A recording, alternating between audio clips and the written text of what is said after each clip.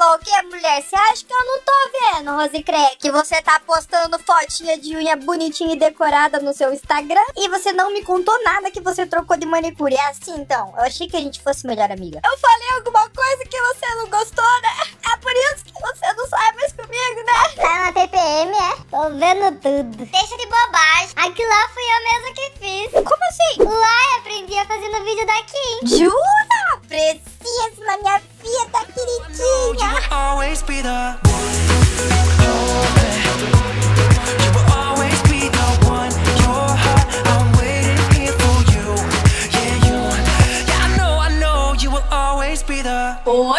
de boi. Sabe quem são as melhores assistidoras desse mundo? Vocês!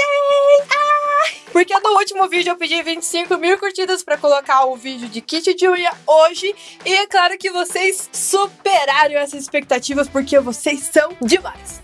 Então por isso hoje com muita alegria, com muita, com muito amor no coração, teremos vários itens de unha que vocês me pediram. Muito, muito, muito, muito, muito, muito. Alguns vão ficar pro próximo porque não deu pra encaixar todas as ideias no vídeo só. Se você quer que eu faça mais um vídeo de kit de unha, vocês já sabem que vocês são as minhas sócias aqui no canal. Então se vocês mostram pra mim que vocês querem vídeo, o que, a Kim faz? A Kim vai lá e coloca vídeo. Já clica um monte em gostei aqui embaixo. Se esse vídeo aqui chegar em 25 mil curtidas, eu já começo a trabalhar no próximo vídeo de kit de unha. Se você acabou de chegar, é novo por aqui, seja muito bem-vindo. Se inscreve no canal aí, venha fazer parte da família Rosa Coca e também compartilhe esse vídeo com todo mundo. Ai, não esquece de colocar aqui embaixo nos comentários o que, que vocês querem que eu faça no próximo vídeo de kit de unhas. Vamos pro vídeo.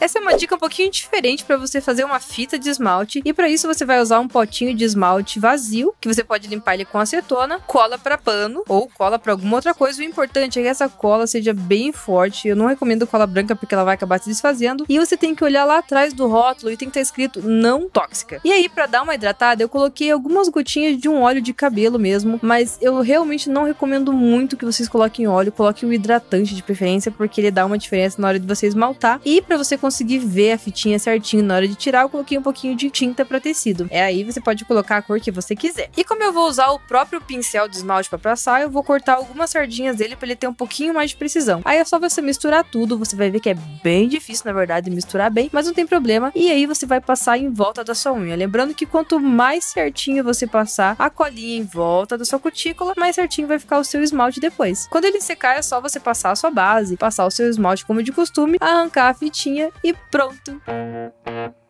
Agora eu vou mostrar pra vocês como fazer uma película muito maravilhosa. Pra vocês que gostam de coisa brilhosa como eu, vocês vão adorar. Eu tô usando essa superfície que era um envelope de cartas que eu tinha, mas você pode usar caixa de leite também. O importante é que ela seja lisa e que você consiga desgrudar a cola depois. Aí eu vou jogar uma quantidade de cola branca, é claro que vocês conseguiram ver que eu dei uma exagerada ali. Não precisa ser tanta cola e aí você espalha ela bem com o dedo. Quando tiver seco, você vai pegar um esmalte prata que você tenha na sua casa e vai passar numa linha que seja da altura do seu dedo. Aí eu tô colocando um pouco de glitter, na verdade bastante, pra cobrir toda a cola que eu passei, porque é ele que vai dar o tchan assim. E aí, esse aqui é opcional, é só um efeitinho mesmo que eu tô colocando um esmalte que tem esses glitters maiores pra dar um efeito. E agora o tchan da parada vai ser os marca-textos. Isso mesmo, gente, marca-texto de caderno. Você vai fazer risquinhos na diagonal, eu tô usando marca-texto amarelo, marca-texto rosa, e você vai ver que o amarelo pro rosa ele vai formar um laranja, então vocês usem isso também para ter uma variedade maior de cores, e também caneta azul. Aí você corta com uma régua e com estilete quadradinhos do formato da unha. Para aplicar é muito fácil. Você vai ter que passar a base na unha. Enquanto ela estiver molhada, você vai colocar esse papelzinho em cima. Aí você vai ajustar as laterais e cortar em volta com a tesoura. Eu comecei fazendo essa parte da gravação tentando tirar a lateral com acetona, mas se você cortar ela certinho com uma tesoura pequenininha, fica mais fácil ainda.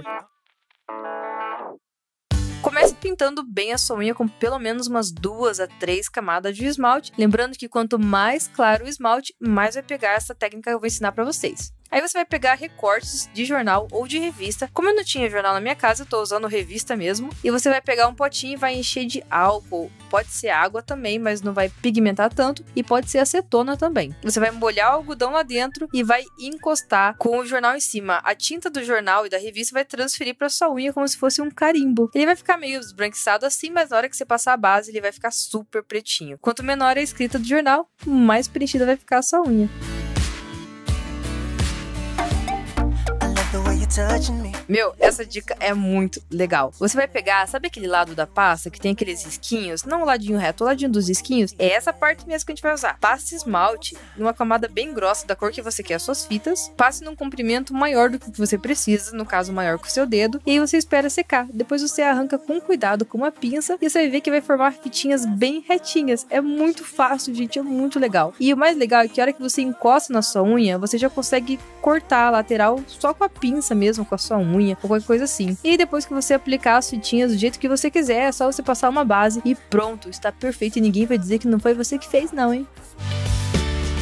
Essa dica aqui eu vi no canal de uma gringa e eu vim trazer aqui pra vocês também. A ideia é que você passar batom como esmalte. Então, pra isso, você vai passar uma camada de base e vai passar um batom. Eu testei duas formas, com batom em bala e com batom líquido. Aí eu tô passando batom em bala, ficou assim, eu poderia já chegar e passar a base em cima, mas me deu uma louca na hora e eu resolvi deixar o negócio mais tchan ainda. Mas antes, eu vou mostrar pra vocês passando o batom líquido. Eu resolvi aproveitar a viagem e colocar o meu dedo dentro de um potinho de pigmento pra olho, assim, pigmento de maquiagem, pra ficar um, um esmalte bem brilhante, esmalte bem cheguei. Aí eu só passei duas camadas de base em cima e pronto. No caso do esmalte líquido, eu não sei se é porque eu já peguei um esmalte que tinha tendência pra craquelar, mas o meu deu uma craquelada. O que é bom, porque dá um efeito legal. Se eu passar um esmalte branco, por exemplo, embaixo, eu consigo dizer que foi uma decoração bem bacana.